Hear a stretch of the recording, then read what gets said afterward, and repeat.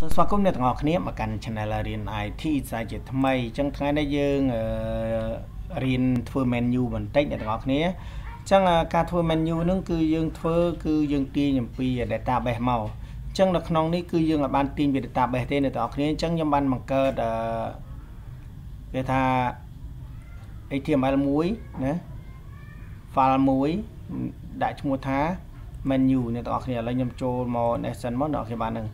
ចឹងខ្ញុំបង្កើតអានេះមួយសម្រាប់ menu ហើយ style នេះគឺអ្នកទាំងអស់គ្នាមិនបាច់ខ្វល់ទេព្រោះអានេះទាំងអស់គ្នាអានឹងអ្នកទាំងអស់គ្នាមើលទៅខាង Merin HTML និង CSS ទៅអ្នកទាំងអស់គ្នាចេះហើយអានេះគឺជា menu ណាអ្នកទាំងអស់គ្នាចឹងខ្ញុំបានបើកហើយ menu ខ្ញុំបើកហើយនេះគឺជា for menu ហើយណានេះគឺជា file get data ចឹងនៅក្នុងនេះគឺយើងធ្វើមាន style CSS យើងអត់ប្រើទេហ្នឹងហើយចឹងយើងមើលមកកាន់ menu យើងនេះ for menu នេះ អញ្ចឹង menu នេះគឺយើងយកមកដោយប្រើ HTML ដែល data វាគឺ store នៅក្នុងអីគេនៅក្នុង menu យើងផ្ទាល់តែម្ដងឃើញទេអ្នកនរគ្នានៅក្នុង menu យើងផ្ទាល់តែម្ដងដាក់ home ដាក់អីហ្នឹងណាប៉ុន្តែ menu នេះគឺខ្ញុំទាញពីអីគេខ្ញុំទាញ include ចូលមកណែអ្នកនរគ្នានេះគឺខ្ញុំ include menu ចូលតែម្ដងអ្នកនរគ្នាបាទនេះហើយអ្នកនរគ្នាកុំឆ្ងល់ថាអឺ menu នេះ នៅខាងនេះសោះហេតុអីបានមកខាងនេះគឺយើងប្រើ include requirement ចូលមកពេលយើងបើក for menu នេះបើក index for menu នេះមកវានឹងឃើញ menu របស់យើង load មកអញ្ចឹងអ្នកទាំងអស់គ្នាបាទចឹងគឺខ្ញុំ include វាចូលមកគឺខ្ញុំអត់ឲ្យវាញ៉ៃញ៉ៃទេអ្នកទាំងអស់គ្នាខ្ញុំសេមកគឺកន្លែង menu នេះគឺមានតែប៉ុណ្ណឹងទេអញ្ចឹងយើងអ្វីយើងសិក្សាគឺនៅក្នុង menu មួយនេះអញ្ចឹងយើងត្រូវទាញទិន្នន័យមកអញ្ចឹងនៅក្នុងមេរៀនទាញទិន្នន័យគឺយើងមើលលើ get data នេះ get data នេះអ្នកទាំងអស់គ្នាអញ្ចឹង get data នេះ get data នេះអូខេបាទហ្នឹងហើយគេនេះ get data នេះអញ្ចឹងយើងសិក្សាលើ get data នេះប៉ុន្តែយើងអនុវត្តផ្សេងមានបន្តិចអញ្ចឹងយើងចូលទៅកាន់ database មកអ្នកនរគ្នាបានហ្នឹងហើយបើលឿនពេកអ្នកទាំងគ្នាមើលវីដេអូនេះរៀងយឺតយឺតបន្តិចមកអ្នកទាំងគ្នាដោយសារតែខ្ញុំអត់សូវមានពេលទេអ្នកទាំងគ្នាបានហ្នឹងហើយខ្ញុំអត់សូវមានពេលអញ្ចឹងណាអញ្ចឹងឥឡូវខ្ញុំបើកមួយនេះមកអញ្ចឹងខ្ញុំបង្កើត table មួយទៀតអ្នកទាំងគ្នា create table មួយទៀតខ្ញុំដាក់ឈ្មោះថា menu ចុះអ្នកទាំងគ្នា menu អញ្ចឹងហើយអ្នកទាំងអស់គ្នាអញ្ចឹងខ្ញុំដាក់ note កន្លែងនេះថា for menu អញ្ចឹងបើ menu អីអ្នកទាំងអស់គ្នាដាក់មកអញ្ចឹងណាបន្ទាប់មកអ្នកទាំងអស់គ្នា add មកនឹងហើយយើងបង្កើត table មួយសម្រាប់ menu មកអ្នកទាំងអស់គ្នា add មកឧទាហរណ៍កន្លែងនេះយើងដាក់ ID អញ្ចឹងណា ID អឺ ID កន្លែងនេះយើង note ជាអីគេអ្នកទាំងអស់គ្នាបាន ID កន្លែងនេះគឺយើងយកវាជាលក្ខណៈ auto number អញ្ចឹងមកណា not alone null auto number បន្ទាប់មកយើង set ជា prime primary key create primary key នេះណា ហ្នឹងហើយទី2នេះយើងដាក់អីគេ menu យើងអ្នកទាំងអស់គ្នាចង់ដាក់ឈ្មោះអីគេអញ្ចឹងអ្នកទាំងអស់គ្នាដាក់មកឧទាហរណ៍ home កន្លែងនេះ name name menu អញ្ចឹងទៅឬក៏ដាក់ home អឺដាក់ថាអឺ m home អញ្ចឹងណាហ្នឹង m home អញ្ចឹងមកអញ្ចឹងកន្លែងនេះយើងដាក់វាជាលក្ខណៈ tick មកនេះអូខេបាទនឹងជា tick binary នេះតោះអូខេបាទអញ្ចឹងជាឆាមកយើង add ទៀតមកកន្លែងនេះ home home យើងដាក់ note មកនេះបងប្អូន M menu យើង M menu អញ្ចឹងអញ្ចឹង menu ឲ្យគេថា product អញ្ចឹងអ្នកនរ product អញ្ចឹងមកណាអញ្ចឹងដាក់ឆាដូចគ្នាអ្នកនរគ្នាបានបន្ទាប់មកទៀតយើងអាចដាក់ add មួយទៀតមកយើងដាក់ទៅ3បានហើយអ្នកនរគ្នាយើងដាក់ M មើលអីគេអ្នកនរគ្នាឥឡូវយើងមើល M អីគេអឺខ្ញុំភ្លេចទៅកន្លែងនេះ menu យើងយើងដាក់ជា M computer អញ្ចឹងមកណាយើងដាក់បាន3វាមើលទៅវារៀងលយទីនេះបាន3ហ្នឹងណានឹងរៀងលយទីយើងដាក់ M computer មក computer អញ្ចឹងមកអូខេបន្ទាប់មកយើង save វាទុកមកអញ្ចឹងយើងបានទិន្នន័យនេះចូលហើយអ្នកនរគ្នាបាទហ្នឹងហើយទិន្នន័យចូលហើយអញ្ចឹង insert data អ្នកទាំងអស់គ្នាចេះហើយការប្រើប្រាស់ insert data អញ្ចឹងនៅក្នុងនេះគឺយើងមិនមែន insert data គឺយើងទាញ data មកដើម្បីបង្ហាញកន្លែងនេះអញ្ចឹងការធ្វើ menu គឺយើងធ្វើដូចជាមួយនឹងការ get data យើងនឹងដែរណាអ្នកទាំងអស់គ្នាឥឡូវខ្ញុំ copy code ទាំងអស់នេះមក copy code get data នេះមកណាអ្នកទាំងអស់គ្នានេះយើង save រួចហើយអ្នកទាំងអស់គ្នាចេះហើយណាអញ្ចឹងយើង copy code ពី get data មក អញ្ចឹងយើងយកមកដាក់អីគេមកក្នុង menu យើងអញ្ចឹងណាអ្នកនរគ្នាបាននៅក្នុង menu យើងនេះមកអញ្ចឹងនៅក្នុង menu យើងនេះយើងត្រូវដាក់ HTML មកអ្នកនរគ្នាបាន HTML អ្នកនរគ្នាបានហ្នឹងហើយព្រោះយើងត្រូវមានកូដ HTML អូខេឥឡូវខ្ញុំសេ HTML មកអ្នកនរគ្នាបាន HTML អញ្ចឹងមកអ្នកនរគ្នាអញ្ចឹងអានេះនៅក្នុង HTML ណាអ្នកនរគ្នាបាន HTML body head យើងដាក់មក menu ដាក់ head មកអ្នកនរគ្នា head អូខេអានេះ head បន្ទាប់មកខាងក្រោមនៃ head គឺអីគេ body ណាគេបាទ body អញ្ចឹងអានេះគឺ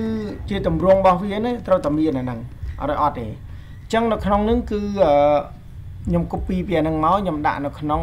body នេះគេបាទ body នេះដាក់ក្នុង body នេះមក okay ចឹងណា copy ដាក់ក្នុង body ហើយ menu នេះអ្នកឃើញអា menu ខាងលើនេះគឺខ្ញុំ copy វានេះ cut វាមកមិន copy cut វាទៅដាក់នៅក្នុង head វិញនេះ okay បាទ menu ដាក់នៅក្នុង head នេះមក តើនេះ okay បាទដាក់ក្នុង head នេះមកណាហ្នឹងឥឡូវយើងចូលទៅ refresh យើងម្ដងទៀត okay នេះគឺជា data យើង get វាមកទាញ data អំពីអីគេអ្នកទាំងអស់គ្នាអំពី insert មកអ្នកគ្នាបាទហ្នឹង insert ណាអ្នកគ្នានេះអឺ insert អ្នកគ្នានេះ insert នេះដែល get data នេះទាញ data មកអញ្ចឹងលុបចេញមកអញ្ចឹងអ្នកទាំងអស់គ្នានឹងឃើញតម្លៃនេះអ្នកគ្នានេះតម្លៃនេះគឺជាតម្លៃដែលយើង get data នៅមេរៀនដែលយើងរៀនអំពីការទាញទិន្នន័យចេញពី table ហ្នឹងហើយអញ្ចឹងដូចគ្នាអញ្ចឹងនៅក្នុង menu នេះយើងទាញទិន្នន័យមកដូចគ្នានេះអូខេនេះយើងនឹងជំនួសវាអញ្ចឹងនៅក្នុងនេះយើងចូលទៅកែមកនេះ okay បាទនឹងកែនេះកន្លែងនេះត្រង់កន្លែងនេះនេះ okay បាទ okay ត្រង់កន្លែងនេះយើងត្រូវទាញទិន្នន័យនេះនេះនេះទាញទិន្នន័យនេះមកដាក់នេះវិញនេះ okay នេះនេះនៅក្នុង menu យើងនេះវិញអញ្ចឹងយើងដាក់យ៉ាងម៉េចនេះ okay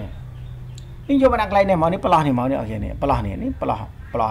អី home នេះណាអញ្ចឹងយើងទាញតំណែងនៅក្នុងនោះមានអីខ្លះដែលយើងត្រូវទាញមកអញ្ចឹងកន្លែងនេះគឺយើង select table ណានេះ okay select table កន្លែងនេះគឺ table យើងបានបង្កើតថ្មីហើយគឺ table menu អញ្ចឹងយើងចូលមកកែកន្លែងនេះដាក់ table menu ការសរសេរ insert ដូចគ្នាទេគ្រាន់ថាពេលដែលខ្ញុំសរសេរអានឹងមកវាវាយូរណាអូខេដាក់ menu អញ្ចឹងមកចឹងអា insert table នេះអូខេអូអានេះគឺទាញទិន្នន័យទាញទិន្នន័យកូដវាមិនប៉ុណ្ណឹងទេអ្នកទាំងអស់គ្នាគ្រាន់តែ SQL select ផ្កាយ from menu មក បន្ទាប់មកទៀតអ្នកទាំងអស់គ្នាដាក់ result ខ្ជាប់ connection មកតែអ្នកទាំងអស់គ្នាបន្ទាប់មកយើងឲ្យវាវា loop នេះឲ្យវា loop មកទៅតែអ្នកទាំងអស់គ្នាបានហ្នឹងហើយចឹងពេលអ្នកទាំងអស់គ្នាឲ្យវា loop មកវាបង្ហាញប៉ុន្តែនៅក្នុងនេះ loop គឺឃើញទាំងអស់ទាញទិន្នន័យមកទាំងអស់អ្នកទាំងអស់គ្នាបានហ្នឹងហើយទាញទិន្នន័យមកទាំងអស់ប៉ុន្តែអ្នកទាំងអស់គ្នាអាចប្រើនៅក្នុង search នេះអ្នកគ្នានេះអា search នេះណាដែល search នេះអ្នកទាំងអស់គ្នាយកពាក្យនេះមកអ្នកអស់គ្នាបាទយកពី data នេះមកនេះ យើងប្រើមួយមកវិញក៏បានដែរអ្នកគ្នានេះទាញតិន័យបាទមកដូចគ្នាគណៈថាតិន័យយើងទាញមួយនេះគឺយើងប្រើ select by name អញ្ចឹងមកយើង search by name អញ្ចឹងអញ្ចឹងអានេះវាទាញតិន័យមកម្ដងមួយណាអ្នកអរគុណមកម្ដងមួយនេះទាំងអស់គ្នាអាចមើលនៅក្នុងនិស្សិតអាមេរៀនដែលយើងរៀនរួចហើយនេះទាំងអស់គ្នាដូចជា edit អញ្ចឹងណានេះ edit អញ្ចឹងមកនេះរៀននេះស្រាប់ការទាញតិន័យមកទាំងអស់ទាញតិន័យរួចយើងចូលទៅវិញនេះ edit នេះអានេះការទាញតិន័យតាម ID មកអញ្ចឹងណាអ្នកនរគ្នានេះអញ្ចឹងអ្នកនរគ្នាយកមួយណាយកទៅអានេះខ្ញុំគ្រាន់ឧទាហរណ៍អ្នកនរគ្នាបានបានមើលហើយអ្នកនរគ្នាបានហ្នឹងហើយអញ្ចឹងនៅក្នុង form menu យើងគ្រាន់តែទាញ connect មកទេឥឡូវយើងអត់ប្រើទេនៅក្នុងហ្នឹងយើងបិទយើងប្រើតែនៅក្នុង menu អញ្ចឹងនៅក្នុងនេះខ្ញុំទាញតិន័យឧទាហរណ៍ចូលមកក្នុងនេះអញ្ចឹងនៅក្នុងនេះយើងមានអីគេខ្លះនៅក្នុង database របស់យើងគឺមាន m home M product M product ហើយនិង M computer អញ្ចឹងយើងដាក់មកនេះដល់គេកន្លែងនេះដាក់តែគេ ID ដាក់ទៅកន្លែងនេះដាក់អីគេ M M home កន្លែងនេះដាក់តែ M product M product ហើយកន្លែងនេះអ្នកទាំងអស់គ្នាដាក់តែ M អីគេនៅគ្នា M computer M computer ចឹងអានេះយើងអត់ទាន់ទេអ្នកអានេះយើងអត់ទាន់ប្រើទេលុបចេញសិនហ្នឹងហើយ ចឹងកន្លែងនេះអ្នកទាំងអស់គ្នាអាចដាក់ ID ក៏បានដាក់អីក៏បានឥឡូវខ្ញុំយកមួយនេះមកខ្ញុំខាត់វាសិនខ្ញុំយកមកដាក់ប្រឡោះនេះប្រឡោះ home នេះណាហ្នឹងប្រឡោះ home នេះមកតែនេះអូខេហើយមួយនេះខាត់ដែរមកខាត់យើងយកមកដាក់ប្រឡោះ product នេះមកមួយនេះដូចគ្នាខាត់ដែរមកយើងយកមកដាក់ប្រអប់កុំព្យូទ័រនេះមកចឹងកន្លែងនេះអស់ហើយអានេះ product ខ្ញុំអត់ដាក់ទេហ្នឹងហើយ product ខ្ញុំទីតែប៉ុណ្ណឹងទេឥឡូវយើងចូលទៅ refresh page យើងសិនអញ្ចឹងវា អត់ស្គាល់ទេ okay ដែលវាអត់ស្គាល់នឹងគឺអត់ស្គាល់គេដោយសារតែអានឹងគឺវានៅនៅក្រៅរបស់ PHP យើងឥឡូវយើង cut ឲ្យមកវិញ okay cut យកមកដាក់កន្លែងនេះ okay ហ្នឹងយកមកដាក់នៅក្នុង syntax របស់ val នេះ val loop នេះឃើញទេអូខេឥឡូវយើងចូលទៅ refresh ម្ដងទៀតអូខេបាត់ ឥឡូវយើងចូលទៅ refresh m home select table menu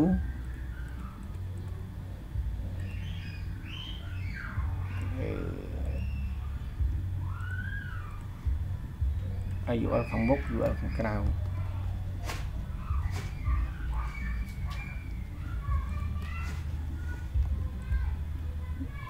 okay អញ្ចឹងត្រូវហើយនៅ okay បាទហ្នឹងហើយ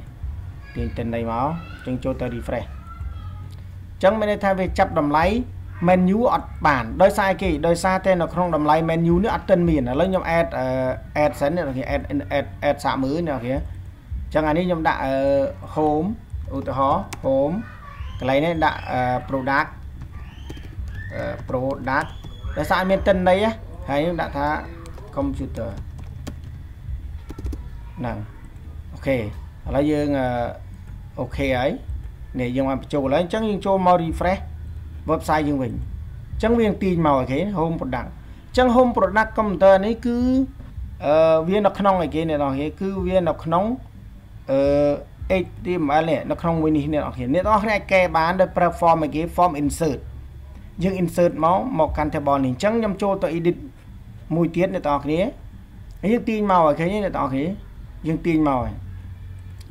អញ្ចឹងនៅក្នុងនេះយើងយើងទាញ menu យើងមកហើយបើក្នុងករណីអ្នកទាំងអស់គ្នាមាន menu ច្រើន menu ច្រើនអ្នកទាំងអស់គ្នាអាចកែបានអ្នកអូខេអាចកែបាន edit បានអញ្ចឹងណាអ្នកទាំងអស់គ្នាបាន edit បានឧទាហរណ៍ថាកន្លែងនេះគឺយើងចង់កែយើងអាចចូលមកកន្លែង update នេះអ្នកអូខេ update នេះនេះយើងអាច update បានណាអ្នកអូខេអញ្ចឹងអ្នកទាំងអស់គ្នាអាចសរសេរ update មួយនេះក៏បានដែរតែនៅសេ form update ឧទាហរណ៍ថាអ្នកទាំងអស់គ្នា ចង់កែតម្លៃ menu នេះចង់កែតម្លៃ menu ដែលយើងចង់បង្ហាញនេះនេះបង្ហាញនៅក្នុង database យើងនេះឃើញ menu វាទេនៅក្នុង menu នេះគឺយើងចង់បង្ហាញវាមានន័យថាយើងចង់ដូរតម្លៃវាចង់ដូរទិន្នន័យយើងអាចដូរនៅក្នុងនេះបានទេអ្នកអូខេព្រោះនៅក្នុងនេះគឺយើងមិនបានទាញទិន្នន័យចេញពី database មកទេអញ្ចឹងសំទោស មិនមិនមែនទិន្នន័យ store នៅក្នុង HTML code យើងទេគឺយើង store ក្នុង database បើចង់កែគឺយើងត្រូវកែក្នុងក្នុង code ឧទាហរណ៍ថា product នេះយើងអាចកែដាក់ថាគេ computer ដាក់ electronic electronic វិញអ្នកនរគ្នាហ្នឹង electronic ចឹងអញ្ចឹងពេលអ្នកទាំងអស់គ្នាចូលទៅកាន់ website អ្នកទាំងអស់គ្នាក៏ refresh មកវានឹងកែអាហ្នឹងទៅជា electronic តើអ្នកទាំងអស់គ្នាកែ menu នេះ electronic ហើយ menu អ្នកទាំងអស់គ្នាអាច update អាចអីបានគ្រាន់អ្នកទាំងអស់គ្នាត្រូវសរសេរ form update menu នេះអ្នកទាំងអស់គ្នាត្រូវសរសេរ form update menu នេះឡើងវិញព្រោះ menu ជាទូទៅគេអត់សរសេរដូច HTML យើងទេ menu គឺយើងសរសេរតែប៉ុណ្ណឹងមកតែអ្នកនរគ្នាសេប៉ុណ្ណឹងមកបើអ្នកនរគ្នាមានច្រើនអ្នកនរគ្នាអាច add មកទៀតមកអ្នកនរគ្នា add មកតែអ្នកនរគ្នា add មកអញ្ចឹងនៅក្នុងនេះឧទាហរណ៍ថាខ្ញុំចូលធ្វើ form មួយ form edit អញ្ចឹង form edit menu ដូចអ្នកនរគ្នាដឹងហើយការ edit menu យើងចូលមកកាន់នេះមកអញ្ចឹង edit នេះ edit ឥឡូវខ្ញុំ copy នេះមួយមកអ្នកនរគ្នាខ្ញុំ copy នេះមួយទៀតខ្ញុំដាក់ path កន្លែងនេះខ្ញុំដាក់ឈ្មោះថា edit menu edit អឺ edit menu ចឹងមក menu ចឹងមកណាឥឡូវខ្ញុំបើក edit menu នៅកន្លែង edit menu ដូចខ្ញុំនិយាយចឹងថាគេមុនមុនគេទាញទិន្នន័យមកសិនណាអ្នកគេទាញទិន្នន័យមកសិនចឹងកន្លែងនេះយើងកែនេះនេះអូខេអ្នកអង្គគេត្រូវកែ អានេះគេទាញទិន្នន័យមកដើម្បី edit ប៉ុន្តែ edit menu យើងត្រូវ save form មួយទៀតអ្នកអង្គគេក្នុងការ edit menu អញ្ចឹងអ្នកទាំងអស់គ្នា edit menu យើងសរសេរដូចយើង edit នេះចឹងណាអ្នកទាំងអស់គ្នាអឺ edit តម្លៃដែលទាញចេញពីតប student ហ្នឹងណាគឺយើងដូចគ្នាយើងត្រូវបង្កើតនេះមួយសិនអ្នកទាំងអស់គ្នាអឺនេះមួយទៀតកាន់តែយូរទៀតហើយអ្នកទាំងអស់គ្នាអញ្ចឹងការ edit menu ខ្ញុំសង្ឃឹមអ្នកទាំងអស់គ្នាចេះហើយអញ្ចឹងណាគឺយើង edit ដូចមួយនេះអញ្ចឹង edit ដូចយើង edit តម្លៃលេខអញ្ចឹងណា edit គឺ update ណាអ្នកទាំងអស់គ្នា update តម្លៃអញ្ចឹងដូចគ្នាអ្នកទាំងអស់គ្នាយើងត្រូវបង្កើត form មួយសម្រាប់សម្រាប់ edit menu អញ្ចឹងណានេះ edit menu ឥឡូវយើងចូលទៅ edit menu សិនអា edit នេះចាំខ្ញុំកែឥឡូវខ្ញុំមើលខ្ញុំទៅ edit menu សិនយើងបូកនេះមួយទៀត edit យើងដាក់ថា local host អឺ local host pp ប៉ុន្តែគ្នា insert ទេ ឥឡូវខ្ញុំដាក់ថា edit menu អ edit edit menu .php នេះអានេះ edit menu តើណាអូខេតម្លៃ edit menu edit data នេះឃើញទេ edit menu ប៉ុន្តែ edit menu គឺគេចាប់តម្លៃពីណាអ្នកទាំងអស់គ្នាគឺចាប់តម្លៃពី get data នេះ get data នេះឃើញនេះបានគេចុចជាមកបានគេចាប់តម្លៃនឹងមកចាតើអ្នកអស់គ្នាអញ្ចឹងដូចគ្នាណា អាអាកន្លែងទាំងនេះគឺយើង edit menu យើងបង្កើតអញ្ចឹងដូចគ្នាទេយើង edit អញ្ចឹងណាវា edit menu មកចឹងវាពិបាកបើសិនខ្ញុំធ្វើ edit menu វាវាយូរព្រោះ edit នេះវាធ្វើយូរដូចគ្នាអញ្ចឹងអ្នកទាំងគ្នាថានេះជា menu អញ្ចឹងអ្នកទាំងគ្នា edit មកបានហើយតែនេះទាញទៅនៃមកឥឡូវខ្ញុំយកអា table នេះទៅខ្ញុំយកតែបលនេះជា edit menu អញ្ចឹងខ្ញុំកែតម្លៃ data នេះទៅជា menu វិញទៅមិនដែរអ្នកនរគ្នាឥឡូវខ្ញុំមើលកែ data អញ្ចឹងខ្លៃអ្នកទាំងអស់គ្នាអត់យល់ណាអញ្ចឹងមើលកែ data អ្នកគ្នាឥឡូវយើងមើលកែ data នេះកែ data នេះនៅក្នុងណៃ get data sorry អ្នកគេ get data នេះឯណា get data នេះ get data គេ select ពី form student បើអ្នកទាំងអស់គ្នាចង់បានពី form menu នេះមកវិញអ្នកទាំងអស់គ្នាត្រូវ select ពី form menu មកតែនេះហើយកន្លែងដាក់ទិន្នន័យរបស់របស់ menu តើអ្នកទាំងអស់គ្នាឥឡូវតោះថាខ្ញុំចង់កែមកកែនេះមក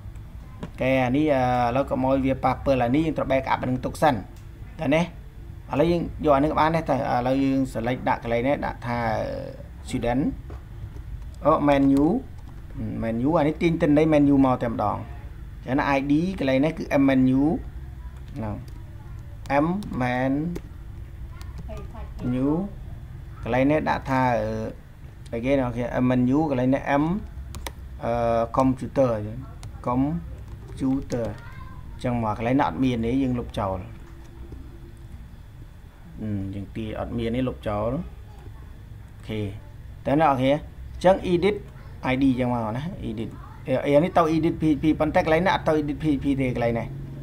នេះអាកន្លែងនេះគឺយើងឲ្យវាទៅអីគេណាគេឲ្យវាទៅ form edit menu នេះតើណាគេបាទ នេះវិញចុច edit នេះមកវា load មកកាន់ form edit នេះ edit តើណាគេបាទ form edit ឥឡូវឲ្យទៅ form edit នឹងទៅចាប់តម្លៃពី tick box នេះទៅវាចាប់អត់នេះ okay ឥឡូវសាកបងមក okay edit menu អានេះគឺ Mercedes ទេណា okay អានេះ menu ព្រោះកែអញ្ចឹងត្រូវកែទាំងអស់នេះទាំងអស់គ្នាបាទកែទាំងអស់អញ្ចឹងទៅវាអាចខុសនេះអូខេវាអាច error កន្លែងណាមួយអញ្ចឹងណាអូខេឥឡូវខ្ញុំសាកបងសិនមកនេះអូខេ ឥឡូវចេះទៅបើខ្ញុំប្រាប់អានេះវាយូរនេះអូខេឥឡូវអឺខ្ញុំដាក់ចេះវិញអ្នកនរគ្នាឲ្យអ្នកនរគ្នាងាយស្រួលយល់អូខេអឺ search edit pp បាត់ចោលអញ្ចឹងនៅក្នុង menu ឥឡូវខ្ញុំបញ្ជាក់ម្ដងទៀតចោះអ្នកនរគ្នាបើសិនខ្ញុំធ្វើអានឹង view អ្នកនរគ្នាធ្វើវីដេអូយើងវាវែងអញ្ចឹងណាអ្នកនរគ្នាវីដេអូយើង17នាទីហើយឥឡូវខ្ញុំបញ្ជាក់ប្រាប់អ្នកទាំងអស់គ្នាម្ដងទៀតចោះ បើសិននៅក្នុងករណីអ្នកទាំងអស់គ្នាចង់ធ្វើជា menu អញ្ចឹងណាឲ្យអ្នកទាំងអស់គ្នាងាយស្រួលយល់ណាចឹងខ្ញុំបាក់ក្នុងការប្រាប់បើសិនយើងធ្វើអានេះគឺវាតាកតងឆ្ងាយបើសិនក្នុងការនេះអ្នកទាំងអស់គ្នាចង់ update menu ណាចង់កែ menu ឬ insert menu បន្ថែមទៀតវាកាន់តែឆ្ងាយអញ្ចឹងណាប៉ុន្តែនៅក្នុងមេរៀននេះខ្ញុំចង់បង្ហាញឲ្យអ្នកទាំងអស់គ្នាចេះគេចេះយកតម្លៃ menu អ្នកទាំងគ្នារកយកតម្លៃ menu រកតម្លៃ menu នោះគឺអឺ ចេះអ្នកទាំងគ្នានេះនេះយកតម្លៃ menu អញ្ចឹងចឹង menu នេះគឺយើងអត់ store ទិន្នន័យនៅក្នុងអីគេនៅក្នុង HTML code ទេគឺយើង store នៅក្នុង database នេះនេះ store នៅក្នុង database នេះចឹង database នេះគឺយើងដាក់ menu ចឹងមកហើយបើសិនអ្នកនរគ្នាចង់ update ជាទូទៅគេអត់ insert ទេគេគេមាន update តើអ្នកនរគ្នា update ចឹងណាហ្នឹងហើយ update បើអ្នកនរគ្នាមានអីទៀតគេចូលមក insert មកឲ្យតទៀតចឹងណាឲ្យតទៀត តើអ្នកនរគ្នា insert តទៀតហើយ insert គេ insert អីគេអ្នកនរគ្នាយើង insert វាមានច្រើនណាស់អ្នកនរគ្នាយើងអ្នកទាំងអស់គ្នាអាច insert មួយនេះក៏បានដែរនេះនេះចឹងណាឲ្យវាស្មើតម្លៃមួយនេះមកចឹងទៅពេលអ្នកទាំងអស់គ្នាចូលមកមិនបាច់ចូលមកកែក្នុង database ទេអ្នកទាំងអស់គ្នាចង់ update menu update អីគឺយើង update នៅលើនៅលើ code របស់របស់នេះតែនេះគឺខ្ញុំចង់បង្ហាញអ្នកទាំងអស់គ្នាអំពីរបៀបនៃការធ្វើ menu អញ្ចឹង menu គឺគេធ្វើយ៉ាងអញ្ចឹងអ្នកទាំងអស់គ្នាគឺយើងទាញទៅនៃមកដូចគ្នា តើណាហ្នឹងហើយបើអ្នកទាំងអស់គ្នាចង់កែគឺគេកែនៅក្នុងនេះប៉ុន្តែអានេះគឺគេមិនមែននៅក្នុងអឺ SQL server គឺយើងមិនមែនចូលមកកែឬក៏ insert ចឹងទេគឺយើងប្រើកូដនៅអស់គេកូដដើម្បីកែទិន្នន័យនេះចំណងជើងនេះណាឬមិនថែមចំណងជើងនេះឬក៏ថែមចំណងជើងនេះទៀតអញ្ចឹងណា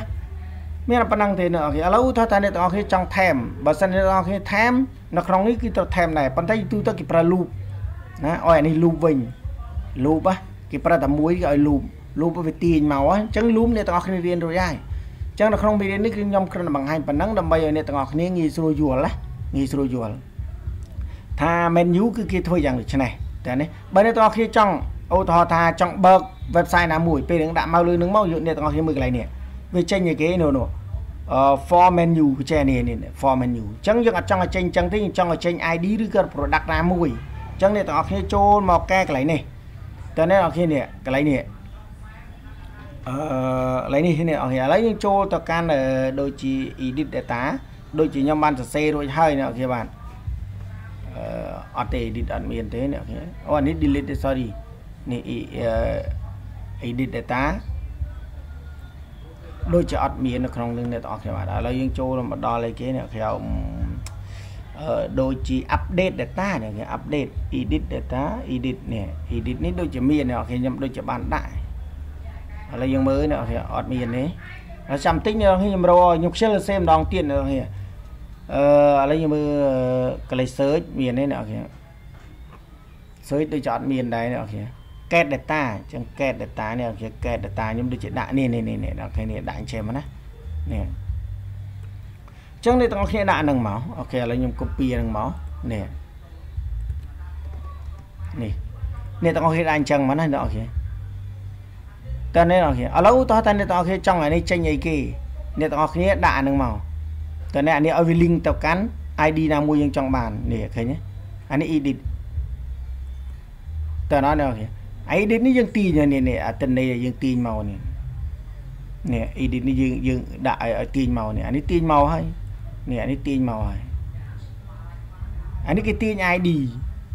តែនេះប៉ុន្តែយើងអត់មានទាញ ID ទេយើងទាញអីគេយើងទាញជាលក្ខណៈអឺឈ្មោះមកអញ្ចឹងអ្នកទាំងគេដាក់ទៅឲ្យចេញ home នេះឲ្យដាក់មកកលេត្រេសណាតែពីលើមកឲ្យចេញ home ដាក់មកចេញ product ដាក់មកចេញ electronic អញ្ចឹងអ្នកទាំងគេដាក់នេះមកកែកលេត្រេសមកនេះអូខេនេះចឹងអា AT ខាងនេះនេះអ្នកទាំងអស់គ្នាអាចដាក់ទៅកាន់ទិន្នន័យណាមួយអ្នកទាំងអស់គ្នាចង់ឲ្យវាទៅ តើនេះអស់គ្នាឥឡូវតើខ្ញុំ copy កន្លែងមកខ្ញុំ copy ពីនេះមកឥឡូវខ្ញុំ copy ដាក់ត្រង់ក្នុងនេះតើនេះអស់គ្នាអ្នកក្នុងនេះកូដដាក់ក្នុងនេះណាអានេះដាក់នេះហើយ copy មួយទៀតដាក់ក្នុងនេះមកព្រោះយើងចង់ឲ្យវាចេញអានេះបង្ហាញអានេះយើងចុចទៅឲ្យ link ទៅឲ្យ link ទៅអាយអឺកូនមួយទៀតឥឡូវនៅក្នុងនេះខ្ញុំចង់ឲ្យវាបើកនេះមួយនេះបងប្អូនបានអឺ local ហោះ ខ្ញុំដាក់ថា index នេះចង់ឲ្យបើកនេះពីយើងចុច home នេះឲ្យ load មក index នេះចេះតែនេះអត់ហ៎ឲ្យឲ្យ load index នេះតែនេះអត់ហ៎ចុច home ពឹងឲ្យ load មក index ចេះអញ្ចឹងអ្នកនរគ្នាអាចកែកន្លែងនេះបាននេះអាចកែកន្លែងនេះបានទេអ្នកនរគ្នាអញ្ចឹងកន្លែងនេះគឺយើងកែយ៉ាងម៉េចអ្នកនរគ្នាអញ្ចឹងកន្លែងខាងក្នុងនេះគឺយើងដាក់នេះមកនេះ edit data នេះ home នេះកន្លែងនេះដាក់ index វិញកែដាក់ index នេះនេះ index ណាកែដាក់ index អញ្ចឹងមកដល់ PHP មកលីកូដនេះមក ID នេះមក តែអ្នកនរគ្នាតែក្នុងនេះអត់បង្ហាញ ID ទេគេបង្ហាញគេ home អញ្ចឹងអ្នកនរគ្នាឥឡូវខ្ញុំ copy អានេះមក copy ទាំងអស់នេះមកណានេះក្នុងនេះមក copy មកដាក់ក្នុងនេះតែអ្នកនរគ្នាផាសប៉ុន្តែក្នុងនេះយើងអត់ដាក់ AI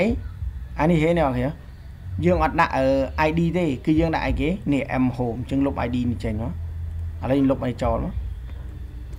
អានេះគឺយើងអត់ដាក់នេះទេគឺយើងដាក់អីគេ M M home អូខេនេះកន្លែងនេះគឺដាក់ M M home M home ចឹងបើសិនជាក្នុងករណីអ្នកទាំងអស់គ្នាចង់ដូរទាំងអស់ចឹងអ្នកអស់គ្នា copy ទាំងអស់នេះមកអ្នក copy អាត្រង់កន្លែងតំណេះមកបានហើយ copy មកដាក់កន្លែងក្នុងនេះនេះណាគេដាក់អញ្ចឹងមកដូចគ្នាទេឃើញទេអ្នកនរគ្រាន់តែកន្លែងនេះយើងកែមកអ្នកនរអាចដាក់ទៅជាគេ M អឺនេះ M Pro ដាក់ អានេះដាក់អីគេ M computer M computer M computer អញ្ចឹងមកអញ្ចឹងអានេះ index គឺខុសៗគ្នាណាអានេះគឺយើង link ទៅកាន់ site ខុសៗគ្នាឥ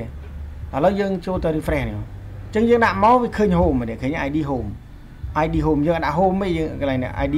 product ID electronic ឃើញទេ okay បាទនេះអ្នកឲ្យមើលកន្លែងនេះកន្លែងនេះកន្លែងនេះអញ្ចឹងពេលដាក់មកមកគឺវាចេញ ID home ណាបើយើងចុចមកវានឹងលោតទៅកាន់ index នេះហើយនេះនេះកាន់ index នេះឥឡូវយើងចុចមកនេះវាលោតមកកាន់ index នេះតើអ្នក okay ពេលចុចមកវាលោតមកនេះកាន់ index នេះតើអ្នកអូខេអាហ្នឹងគឺយើងភ្ជាប់ឲ្យចេញ ID ណាមួយយើងចង់ឃើញនេះបើយើងអត់ចង់ដាក់ ID ក៏បានដែរអ្នកនរគ្នាដាក់អីក៏បានឬអ្នកទាំងអស់គ្នាចង់ដាក់ ID ក៏បានណានេះឃើញ ID ស្មើ product ឬមួយក៏អ្នកទាំងអស់គ្នាអាចកែកន្លែងនេះអ្នកទាំងអស់គ្នាឲ្យចេញអីអ្នកទាំងអស់គ្នាកែកន្លែងនេះមកនេះនេះកែខាងក្រោយហ្នឹងនេះនេះ អានេះយើងយើងបើយើងចុចហ្នឹងគឺ link ទៅ index ទាំងអស់ហ្នឹងអ្នកទាំងអស់គ្នាអាច link ទៅអីគេ get data link ទៅ search link ទៅអីក៏បានដែរនេះ link ទៅ welcome អីមកនេះឥឡូវថាខ្ញុំលីងមកកាន់ welcome PHP ចុះ welcome PHP ដាក់ welcome មកកន្លែងនេះដូរដាក់ welcome ឬក៏ search ឥឡូវខ្ញុំដាក់ search មក search PHP អាមួយទៀតខ្ញុំដាក់ទៅទៅកាន់តែគេ welcome welcome.php ដូចគ្នាឥឡូវយើងចូលទៅ refresh menu យើងអញ្ចឹងពេល refresh យើងដាក់មកលើនឹងវាចេញជាយកអ្នកទាំងអស់គ្នាមើលកន្លែងនេះអ្នកមើលកន្លែងនេះដាក់មកលើមកវាចេញជា home ពេលដាក់នេះមកគឺវាចេញជាអាកន្លែងនេះគឺ index index អឺ product កន្លែងនេះគឺអីគេ search.php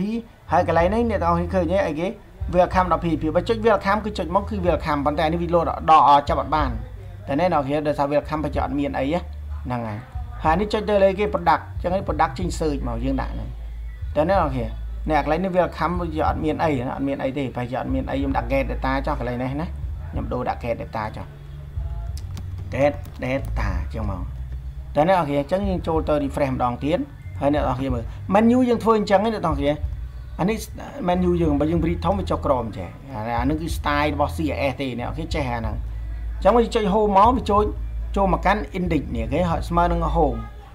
ហើយបើសិនអ្នកទាំងអស់គ្នាចុច product វាចូលទៅ form search product តែអ្នកទាំងអស់គ្នាតែបើអ្នកទាំងអស់ចុច electronic វាចេញទៅគេ get data យើងភ្ជាប់អាហ្នឹងអាស្រ័យលើយើងអ្នកភ្ជាប់ទេអ្នកទាំងអស់គ្នាអ្នកភ្ជាប់កន្លែងនេះណា link ភ្ជាប់ហើយការសរសេរកូដគឺមានតែប៉ុណ្្នឹងទេអ្នកនរគ្នាបាទអត់មានអីច្រើនទេអានេះណាហើយកូដនេះគឺវាទាញឲ្យគេទាញមកកាន់ for នេះអ្នកនរគ្នាប្រយ័ត្នច្រឡំថាយើងសរសេរតែប៉ុណ្្នឹងមិនបានទាញទៅអាមួយនេះគឺយើងទាញទិន្នន័យមកដាក់នៅក្នុង menu នេះនៅក្នុង menu នៅក្នុង URL យើងនេះជា menu បន្ទាប់មកទៀតគឺពី menu នេះយើងទាញមកគេ include មកកាន់ for នេះនេះនេះ menu នេះឃើញទេអានេះភ្ជាប់ database នេះ style ដែលយើងភ្ជាប់ style CS យើងតែនេះអូខេអញ្ចឹងពេលយើងទាញវាមកដាក់មកនិយាយចំឥឡូវខ្ញុំបញ្ជាក់ម្ដងទៀត require one include ហ្នឹងគឺគេដាក់ត្រណេះមកមានន័យថាកូដនេះយើងសេកន្លែងនេះនេះអាកូដអាកូដ menu នេះណាអាកូដ menu នេះយើងសេនៅត្រង់កន្លែងនេះហើយអាកូដ database នេះគឺយើងសរសេរកន្លែងនេះគ្រាន់តែយើងអត់អត់ចង់សរសេរមកកន្លែងនេះយើងបំបែកវាជាពីរដោយយើងប្រើពី include តើអ្នកថងទេ ចឹងមានន័យថាកូដហ្នឹងគឺយើងសរសេរកន្លែងហ្នឹងឯនេះអាកូដ menu នេះនេះអាកូដ menu យើងសរសេរកន្លែងនេះហើយអាកូដ for នេះគឺមួយនឹងឯលើទាំងទាំងអស់តើអ្នកថងទេ database នេះ database នេះគឺយើងសរសេរផ្សេងទេប៉ុន្តែ include មកអញ្ចឹងមានន័យថាវាស្មើនឹងយើងសរសេរសេកន្លែងនេះសេក្នុងហ្នឹងណាហ្នឹងហើយអានឹងសម្រាប់អ្នកដែលសរសេរថ្មីថ្មីអញ្ចឹងណាអូខេឥឡូវយើង refresh មកហ្នឹងហើយ home នេះចេញ home ហើយឃើញទេនេះ home អានេះ product ចេញ search product ซึ่ง search មកនេះគេឥឡូវមុនយើងសេកូដ search ហើយមែនទេ អូថាពេលសុផាន់ដាក់តាស S មក search មកគឺសុផាន់ដាក់ស G search មក record not phone ចុះដាក់ស J មានអត់នេះចាកាអញ្ចឹងមកឃើញទេអ្នកនរគ្នានេះអានេះការ search រៀនរួចអស់ហើយអ្នកនរគ្នាokay នៅក្នុងមេរៀននេះគឺមានប៉ុណ្ណឹងទេអរគុណច្រើនអ្នកទាំងអស់គ្នាហើយបើសិនអ្នកទាំងអស់គ្នាមើលអត់ទាន់ត្រង់ចំណុចណាអ្នកទាំងអស់គ្នាអាច comment នៅខាងក្រោមវីដេអូនេះដើម្បីខ្ញុំនឹងបញ្ជាក់ម្ដងទៀត okay bye bye ជួបជាមួយនឹងខ្ញុំបាននៅវីដេអូក្រោយ